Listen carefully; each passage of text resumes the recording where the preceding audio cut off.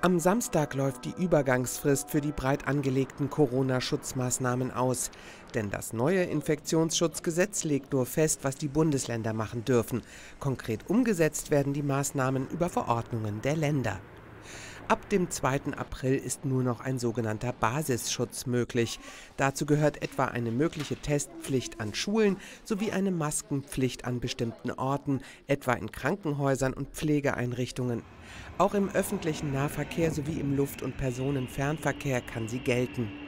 Die Pflicht eines Mund-Nasenschutzes entfällt im Einzelhandel, auch in der Gastronomie. Allerdings können Betreiber von Hotels und Gaststätten per Hausrecht entscheiden, ob sie die Maskenpflicht fortführen, erklärt der Branchenverband DEHOGA. Hotspots sind dem neuen Infektionsschutzgesetz zufolge Gebiete, in denen, Zitat, die konkrete Gefahr einer sich dynamisch ausbreitenden Infektionslage besteht. Das ist dann gegeben, wenn sich eine gefährliche Virusvariante ausbreitet oder die Infektionszahlen stark steigen und zugleich eine Überlastung der Krankenhäuser droht.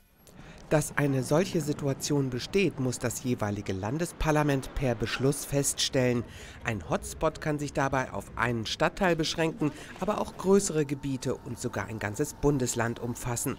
Im Falle eines Hotspots können weitergehende Maskenpflichten angeordnet werden als die im Basisschutz vorgesehenen, etwa auch in Supermärkten.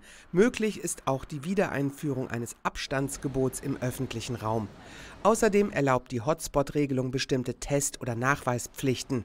Viele Länder sehen für die Umsetzung jedoch hohe Hürden und fürchten, dass die Hotspot-Regelung vor Gericht keinen Bestand haben wird. Bislang haben sich nur die Bundesländer Mecklenburg-Vorpommern und Hamburg zu Hotspots erklärt. Die Regelungen des neuen Infektionsschutzgesetzes sind bis zum 23. September befristet.